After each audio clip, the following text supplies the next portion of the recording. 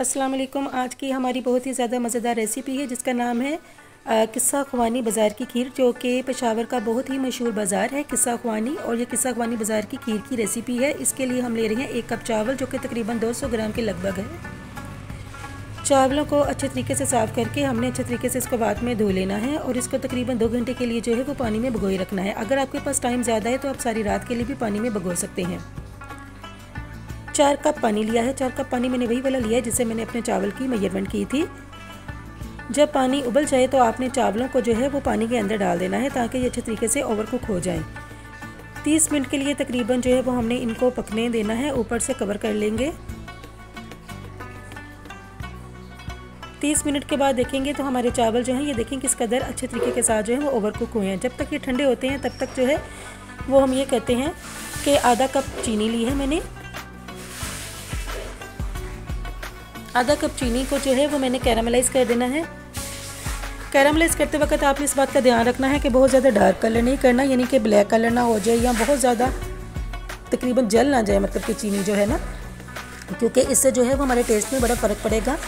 और इसके बाद जो है तकरीबन मैंने दो किलो दूध डाल दिया है।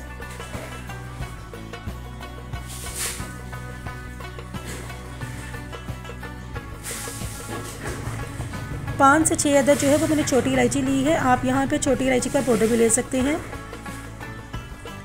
चावल तकरीबन हमारे ठंडे हो चुके हैं, लेकिन अभी भी थोड़े से वैसे गर्म ही हैं, लेकिन कोई बात नहीं, हम ब्लेंडर में अब इसको ब्लेंड करेंगे। अपना ब्लेंडर का जो है वो इसमें हम पेस्ट बनाएँगे। साथ में चावल डालने के बाद मैं इसके साथ जो है वो थोड़ा सा दूध डाल रही हूँ ताकि ब्लेंडर अच्छे तरीके से काम कर सके।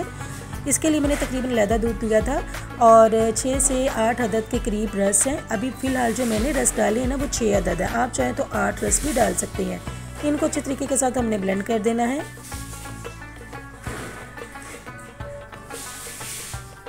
और ब्लेंडर का जो पेस्ट है, जो हमने ब्लेंड किया था, चावल का, रस का और दूध का जो मिक्सचर बनाया था ब्लेंडर में, वो हमने जो है, वो दूध के अंदर डाल देना है और इसको पकने के लिए रख देना है। अच्छे तरीके के साथ मिक्स करने के बाद।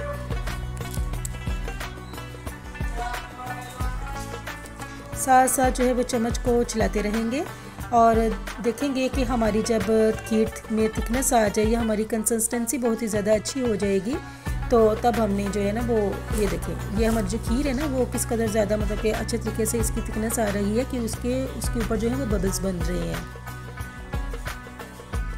अच्छा यहाँ पे इस सीन में ना मैं लूँगी एक कप जो है वो मैंने चीनी ली है, चीनी मैंने इसके अंदर डाल देनी है।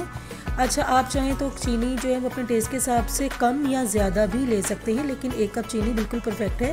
साथ में मैंने बादाम के स्लाइस जो लिए हुए थे, बादाम वो भी मैंने इसके अंदर डाल रही हूँ। वैसे किस्सा खुआनी बाज़ार की जो खीर है ना, उसकी रेसिपी यही है, लेकिन उसके अंदर मतलब के बादाम, मेवे वगैरह नहीं डले होते ना। अब हमारी खीर जो है वो गाढ़ी हो चुकी है तो हम इसको डिश आउट कर लेंगे।